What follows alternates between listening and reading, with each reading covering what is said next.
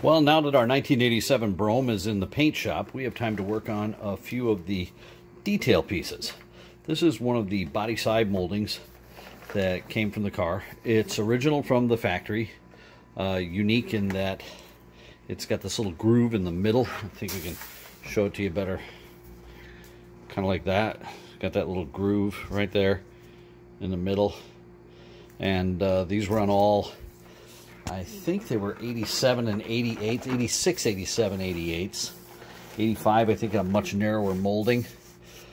Uh, they may have gone to 89, but I think by 90 they stopped.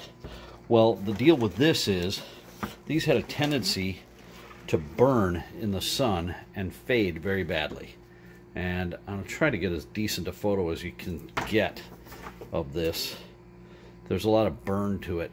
So what happened is the previous owner decided that when he had a little touch-up paint done, that he would just have them go ahead and paint this molding at the same time that they painted the car.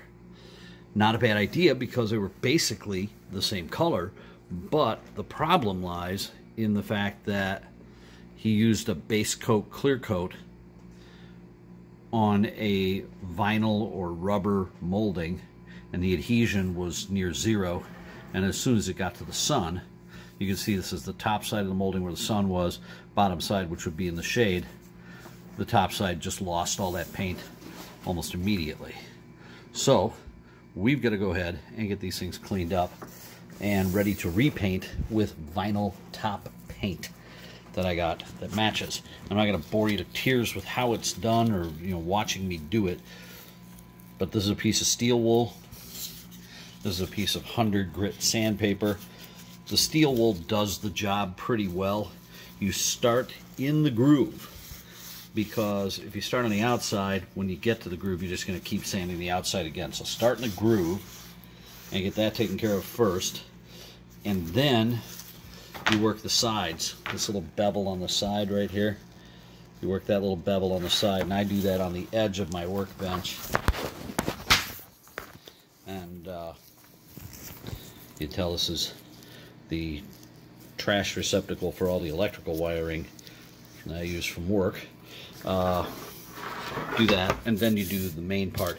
If you have anything that's really divoted, like if it got a pretty good door ding in it or something like that, you use that 100 grit sandpaper to get any really big spots out and smooth it back out. The color goes all the way through, so you really don't have to worry about the color and you're going to respray it anyway. So these will look pretty good when we're done with them. And I'll show you how that gets painted and how it looks when it's finished. And here we are, the finished product, at least finished prior to sanding, uh, or uh, prior to painting. Uh, got all of the old base coat clear coat off of it. Got all of the major dings and dents out of it. And it looks really nice. I mean, obviously the color's a little messed up here and there, but we're going to take care of that by repainting it. And so we've finished repainting all of these nice trim pieces, and they've come out looking really, really good.